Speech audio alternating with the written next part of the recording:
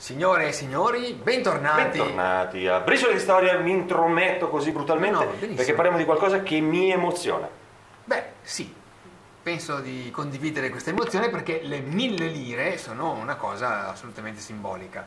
Non dei tempi di potessi avere mille lire al mese, sono molto dopo, ma comunque una cosa della sua importanza.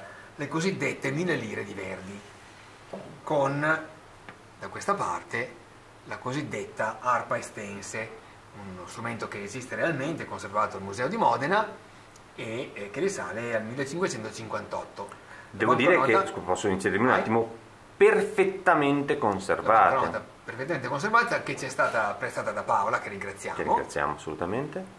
Vediamo anche l'altro lato. Siamo negli anni, tra gli anni 1960 e 1980 e, e questa era la... la- Il teatro ha la scala sull'altro verso.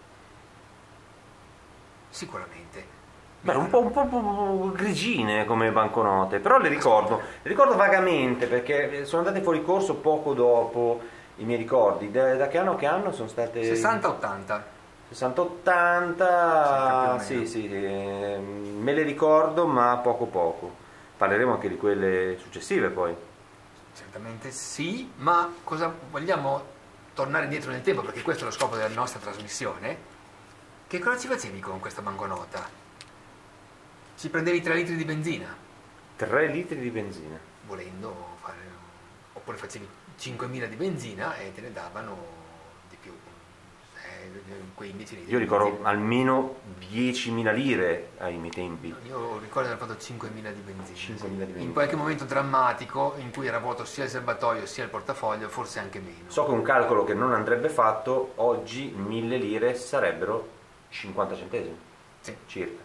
Sì, ma c'è una cosa che si chiama inflazione che nel Sì, frattempo... ovviamente no, era un calcolo appunto che non si può più fare, però era giusto così. Bellissima anche la stampa e bellissimo il ritratto di Giuseppe Verdi.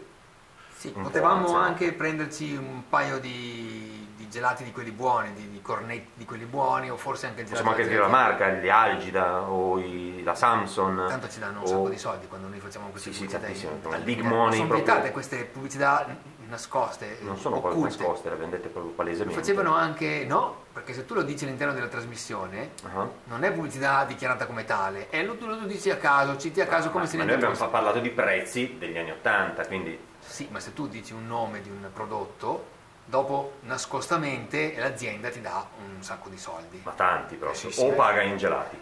Va In bene, questo caso. va bene tutte e due le cose. Va bene, diciamo che abbiamo perso forse fin troppo tempo per parlare di una banconota che comunque ha No, segnato la eh, storia di molte molte persone. Eh, eh, certo, era era una cosa familiare, certo una roba rara, però è una cosa che ci trasporta indietro che ci, ci emoziona, ci commuove, perché è una cosa che ha riguardato tutti, tutti, tutti, tutti, è una cosa bella, mi, mi, mi entusiasma, La- la- non la restituirò e... No, assolutamente e la spenderemo. No, Sarà eh. difficile, ma proveremo a spenderla. Su questo vi salutiamo, vi ringraziamo, vi chiediamo di seguirci su Facebook, iscriversi, iscrivervi a YouTube e ci vediamo al prossimo video.